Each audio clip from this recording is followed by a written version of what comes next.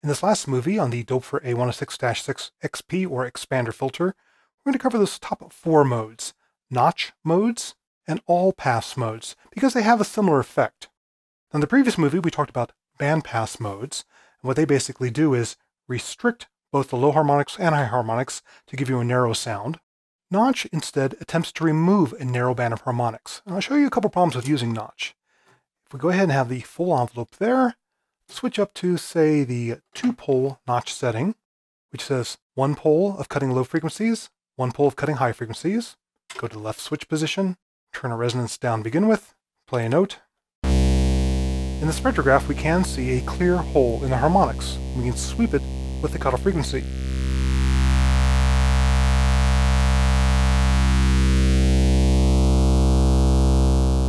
That notch is going to be much more prominent, believe it or not, if your resonance is turned all the way down. That creates the broadest, softest notch effect. The more you turn up resonance, the narrower and sharper that notch becomes, and the fewer harmonics it removes. For example, if I turn this up, you'll see that gap start to close up in the spectra,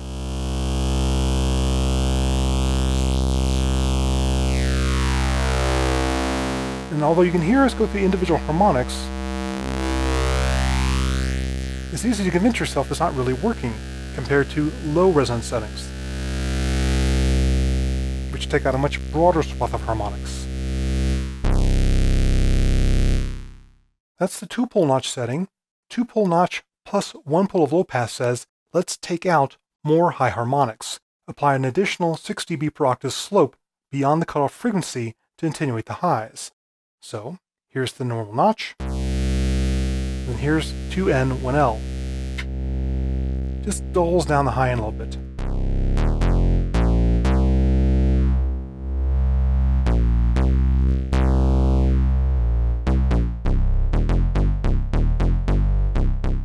Not a bad little bassy sound there. Maybe I'll crank up the output a little bit.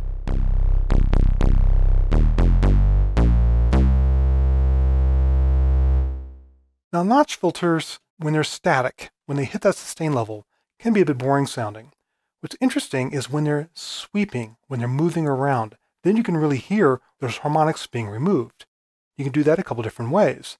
You can go for slower envelope settings, maybe even slow attack.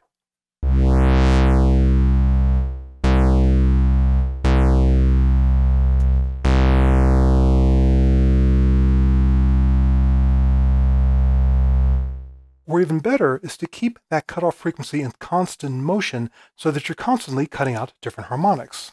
To do that, I'm going to go ahead and grab an LFO. I grab one from our mother or one from our Roland ADSR LFO over here. Take the sine wave, put it into frequency CV2, and decide how much motion I want after I've hit that sustain level. There's the normal envelope sound. Let's add in more LFO. Turn up the frequency. Maybe turn down the amount.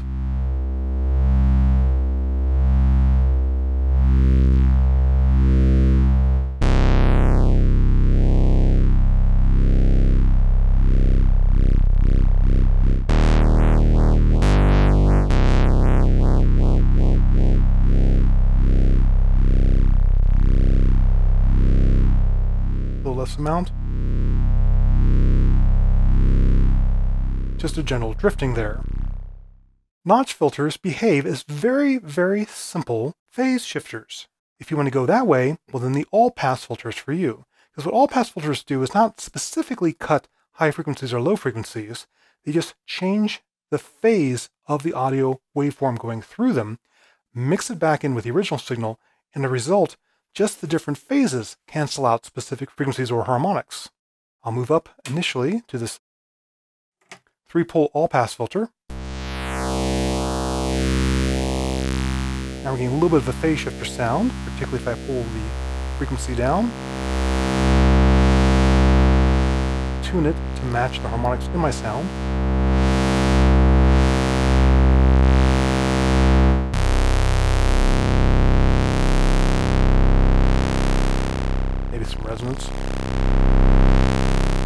Like feedback on a phase shifter. And if that sound is too bright, too many high harmonics are getting through, you can switch it to 3A1L, which is a three-pole all-pass filter, a phase shifter, and then a one-pole low-pass filter. Pull up the cutoff.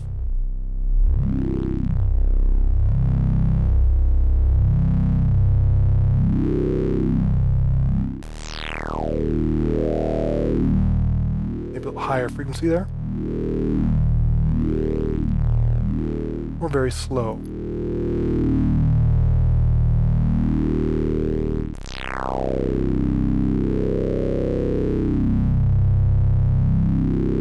Indeed, you can use an all-pass filter as a poor man's phase shifter, and use this not as a filter, but as an effects unit after your normal filter. So let's do some quick repatching here.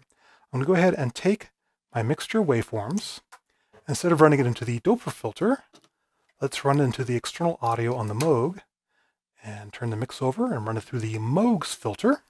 Then let's take the output of, let's say, the VCF right there, even before the VCA, put that into the Xpander take our envelope out of the Xpander filter and instead run it to the cutoff frequency, right there, of the Moog filter.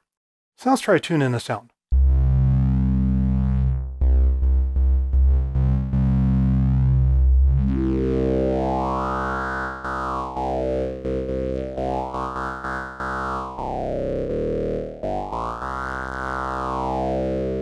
Go ahead and put sounds through the Moog there's the tone oscillator. There's the two oscillators mixed together. Then treat this as a phase shifter after the Moog zone filter. Maybe turn the resonance down for now.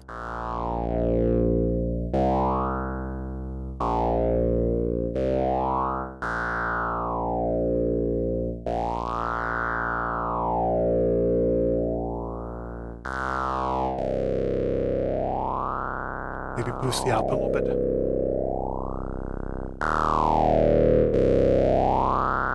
If we don't want the high frequencies cut quite as much, we'll take the low pass, the L out of the equation. The more the Moog's filter sound through.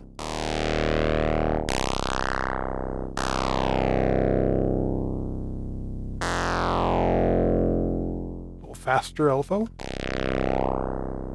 Faster phase shifter. So this is quite a flexible little filter. It does have that Curtis sound, so it's going to be very smooth, not radical or aggressive or edgy. You can put it into resonance though, and you do get some fun effects out of the resonance as it tries to entrain itself to whatever sound's coming in and its harmonics. But it's also just a really good laboratory to precisely tune which harmonics you want to cut out of a sound, or just to learn what these different filter modes do. You can see why Doepfer makes this the default module in some of their pre-configured systems. You.